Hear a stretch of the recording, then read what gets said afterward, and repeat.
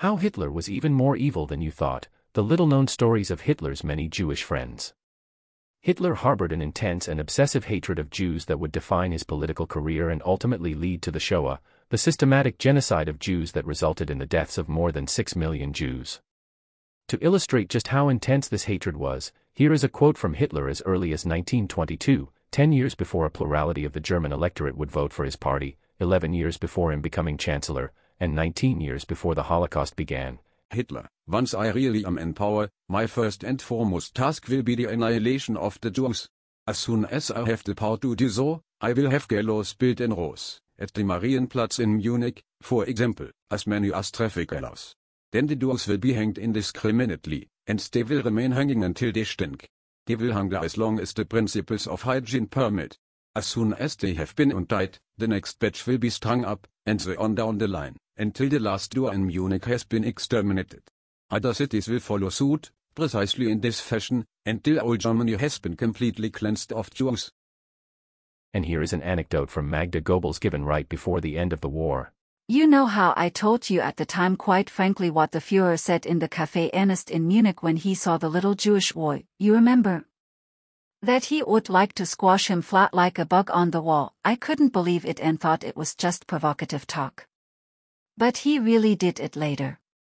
It was also unspeakably gruesome. It is true that anti-Semitic attitudes were prevalent in Europe during the 19th and 20th centuries, but to hate Jews with the level of intensity that Hitler did.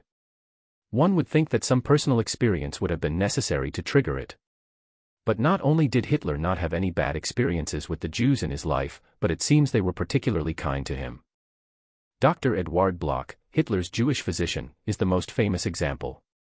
This Jewish doctor treated his mother's cancer to the best of his ability while charging Hitler's then poor family reduced prices, and sometimes did not charge them at all, for top-notch health care.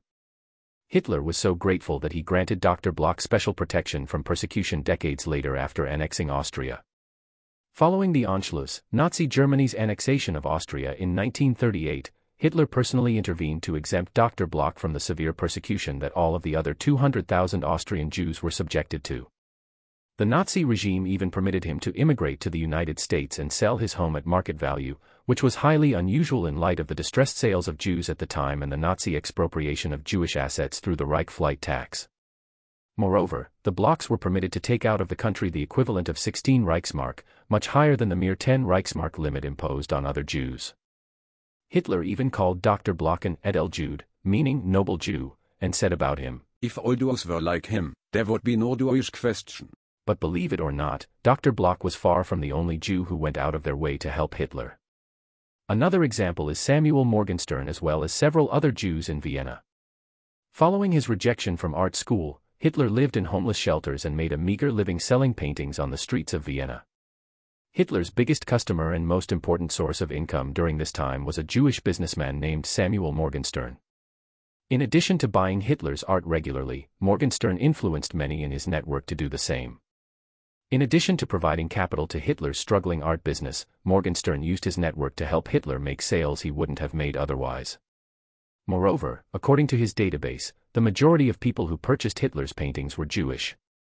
Jewish people were the only way Hitler could even put food on the table. Hitler gave Peter John of the main archive of the NSDAP an appreciative statement in the 1930s that Morgenstern had been his savior during the Vienna period and had given him many important commissions. Unfortunately, Morgenstern did not receive any special protection. Like most Jewish business owners at the time, Morgenstern's business was Aryanized, with Morgenstern being forced to sell it to an Aryan without receiving the 620 Reichsmark purchase price. His license to practice his trade was also revoked and he was prohibited from working. In a letter to Hitler, Morgenstern requested special protection from persecution. However, the letter was intercepted by bureaucrats and never reached Hitler. In the event that Morgenstern's letter had reached Hitler, he may have granted Morgenstern special protection, but the world will never know for sure. Nonetheless, the Morgenstern family was eventually deported to the occupied Poland, where Samuel Morgenstern died in the Lodz ghetto and his wife most likely died in Auschwitz-Birkenau by gassing.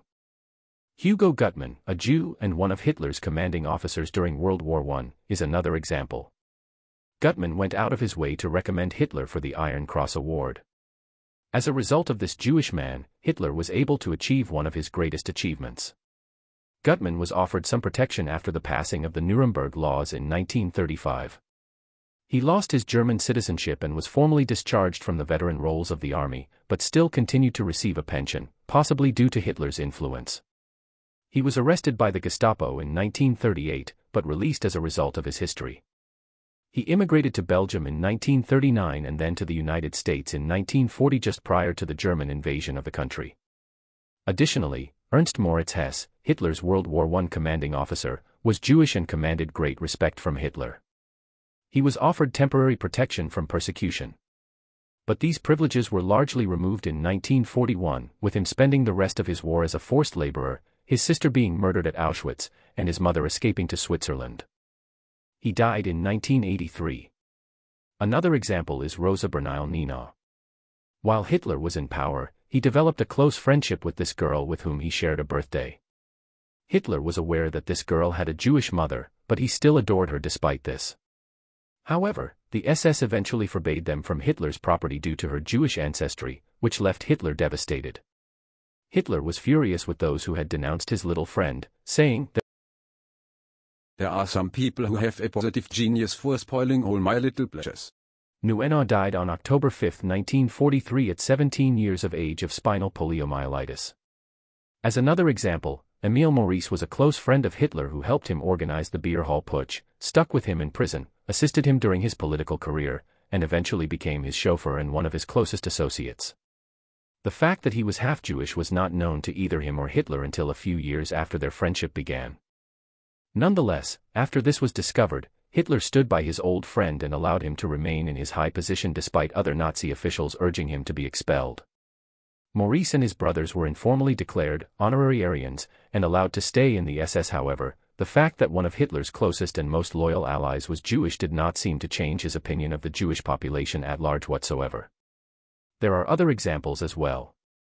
In summary, not only did Hitler not have any negative experiences with the Jews in his life, but several Jewish people went out of their way to help him. But despite the fact that several Jewish people treated Hitler with the utmost kindness and went out of their way to help him, Hitler still harbored a deep hatred for Jews and largely dedicated his life to their literal extinction.